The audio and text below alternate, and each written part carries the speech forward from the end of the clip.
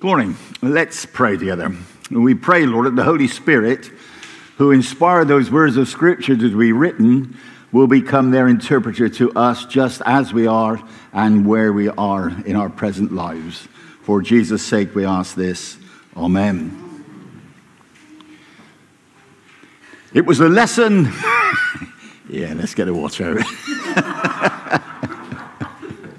It was a lesson before lunch, which is uh, only second worst, I think, to the lesson after lunch. And uh, I was thrilled to bits because I was dealing with the resurrection in this RE lesson. And we'd spend all the lesson looking at all the objections that people had to the resurrection and me demolishing them one by one.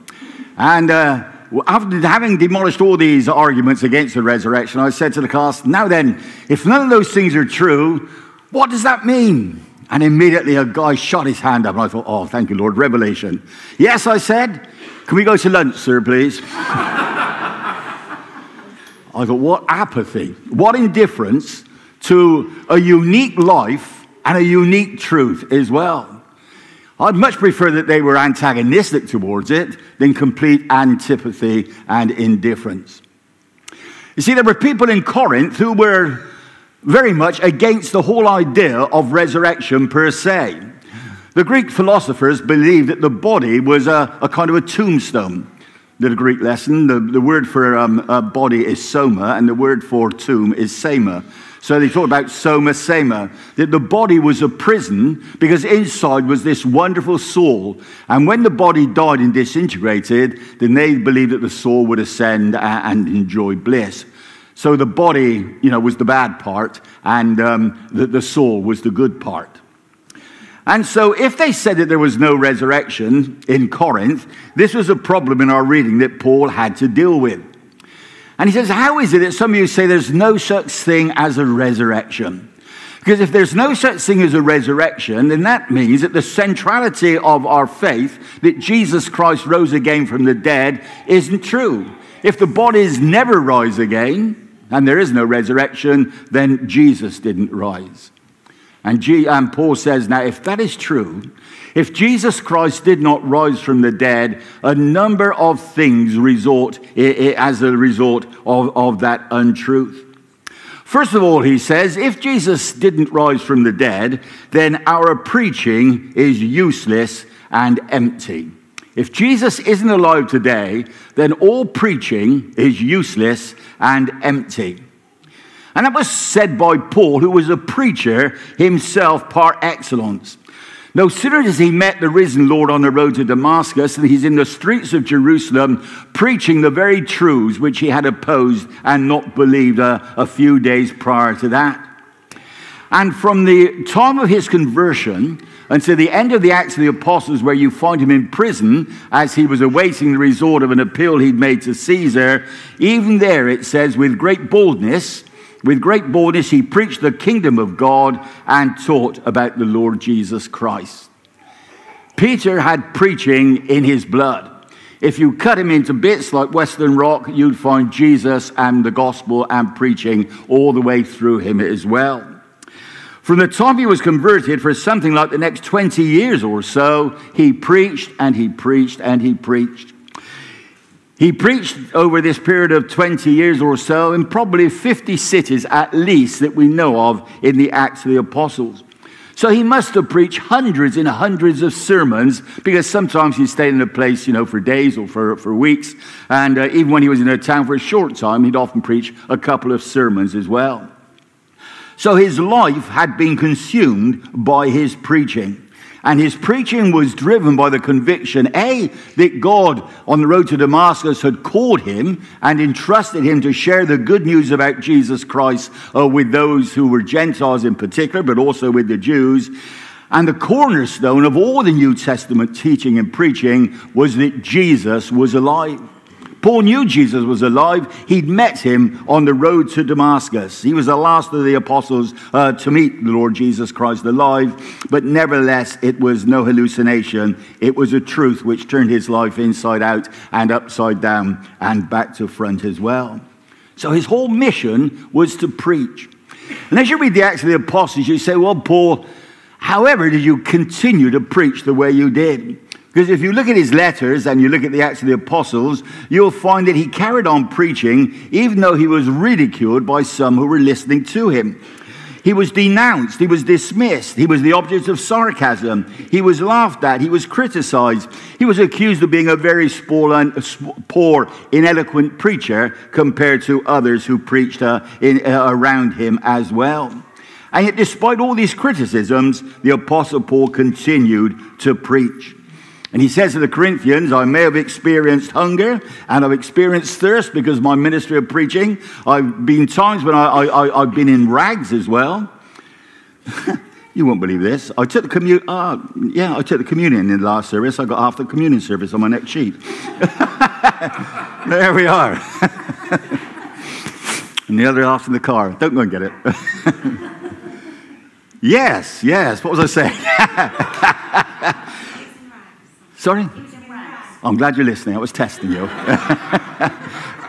he'd been hungry, he'd been thirsty, he'd been in rags as well, but nevertheless, he had continued to preach and to preach and to preach. And the message which was at the center of his preaching was I serve a risen master. Jesus died, Jesus is risen, and Jesus will come again.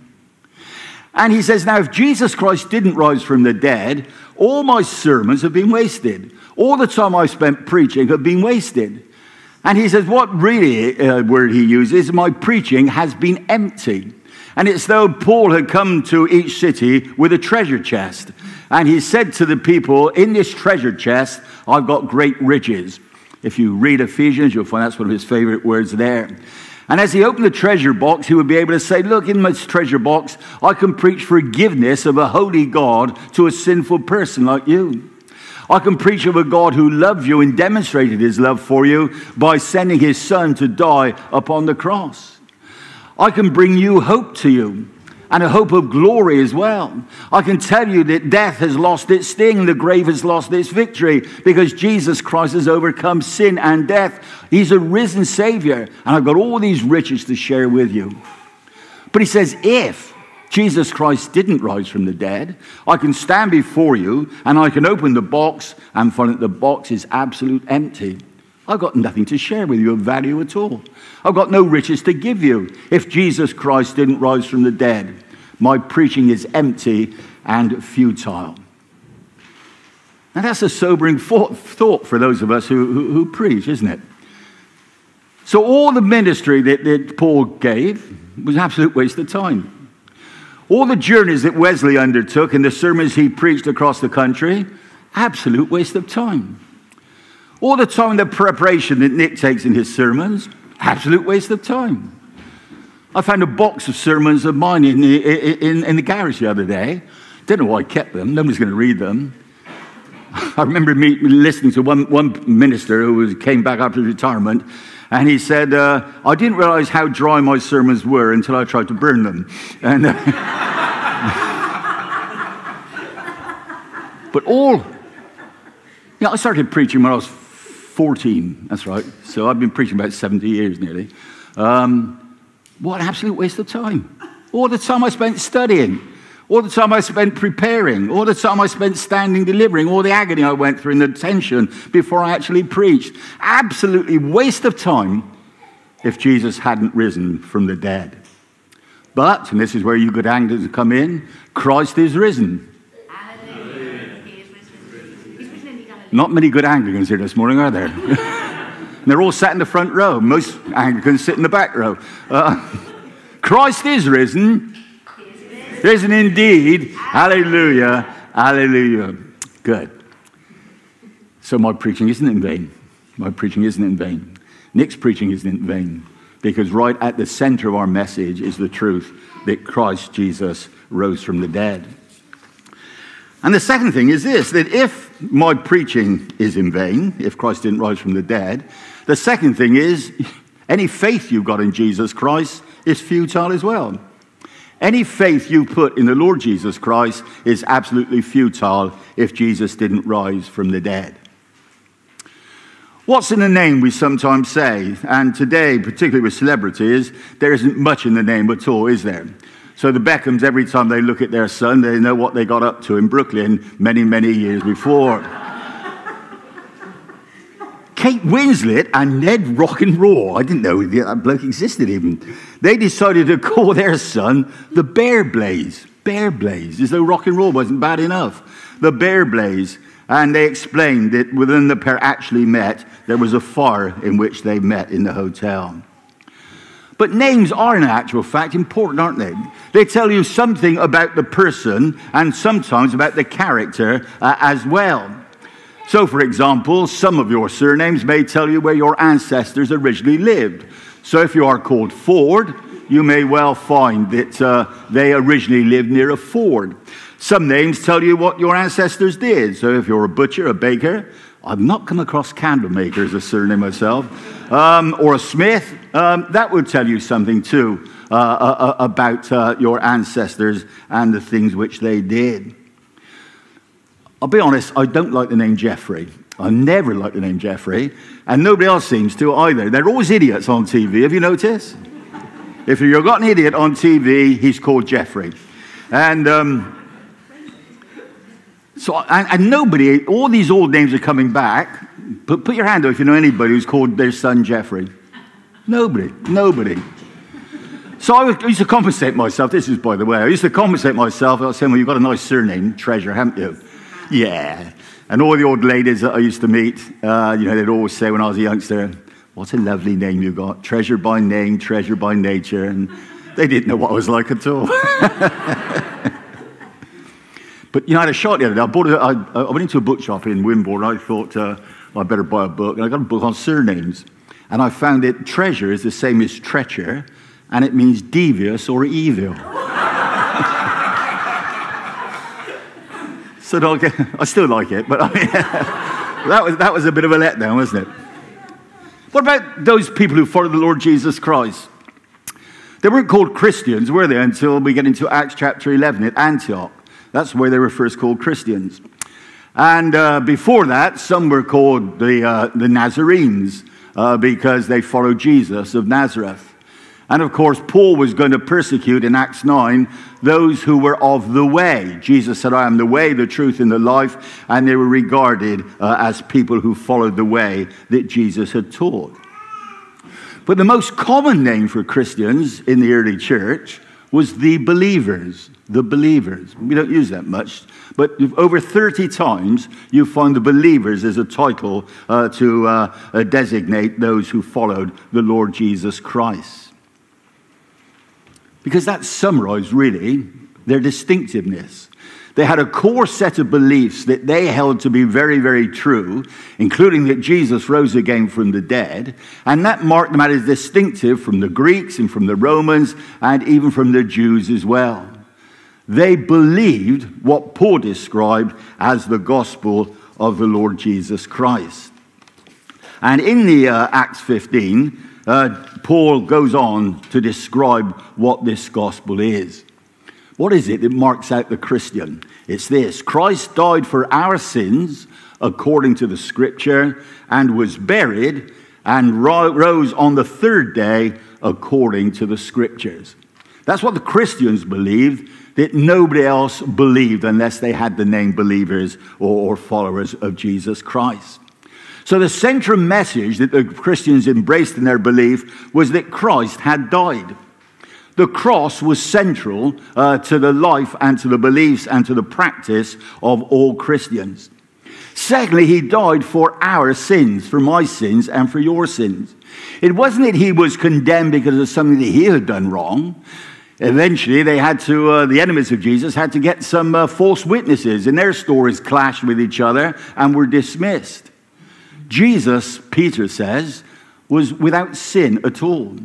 And Peter, who'd followed the Lord Jesus for three years, uh, 24 uh, 7, so to speak, saw nothing in his life that was a blemish or a sin at all. So Jesus died, but he didn't die, the gospel says, for his own sins. He died for our sin, it said. And Peter goes on to say he bore our sins in his body on the tree. So they believed that the cross was central. They believed that Jesus died for sin, but not his own, but uh, ours. And it was all according to the scriptures. And that is simply saying that this was part of God's very purpose and plan. Peter says, from before eternity. It was all part of God's plan that the Lord Jesus Christ should die upon that cross, and it was all part of God's plan that he should rise again from the dead as well. And the result is that if we believe that, and that becomes our core belief, then we have faith in the Lord Jesus Christ, and we really bank our lives upon the truth of Jesus being who he said he was. And Paul is saying if there is no resurrection, you've backed to failure. You've made a mistake. You wasted your life on somebody who was just uh, an, uh, an ordinary person. He wasn't who the Christians say that he was. But now is Christ risen from the dead, and so the gospel is authenticated by his resurrection. We know that Jesus did die because there's historical evidence outside of the gospels for his death. Uh, we know that. Uh, he died, we believe, according to God's purpose. Now, if Jesus did not rise from the dead, then he was an ordinary person, a bit extraordinary, but nevertheless ordinary in the sense that you and I born, live, and died. So if he was an ordinary man, then his death had no effect upon my salvation at all. He died as a martyr. It was the end of life of a deluded man who believed he was somebody who, in actual fact, he wasn't at all or his death was simply a supreme example of, of love and the extent to which it would go to. Or maybe his death was the fact that he was an insurrectionist, like the two who died on either side of him, and he was getting the just punishment for the wrong that he'd done. Or it was a premature death of a first century Palestinian, and his death was no different from the hundreds of people that Romans crucified from time to time. And there's no power in his death. The box is empty, like I said. I've got nothing to offer you because a martyr can't save you. An example can't save you. An insurrectionist can't save you. An ordinary human being can't save you. And so, without the resurrection, you've got no grounds for your faith at all. And your faith, says uh, Paul, is absolutely futile as well. But now, he says, Christ is risen. Thank you. Amen. so Jesus Christ is risen. So my preaching isn't futile. Maybe lots of other things, but it's not futile because the message I share uh, when I do preach uh, is the message of the truth of God about me, about you, about Himself, and about the Lord Jesus Christ. So, because Christ is who He is and He rose from the dead, my preaching is not in vain, and your faith is not in vain as well. New atheists would like to encourage you that you're, you're, you're a sad lot believing what we believe. You need a cushion in life, uh, you know, to, to, to, take the bumps when life comes along. You need an imaginary friend like a small child that you can unburden to, but, but there's nobody listening because he doesn't exist. But because Jesus Christ rose from the dead, says the Apostle Paul, your faith is anything but futile, and my preaching is anything but empty as well.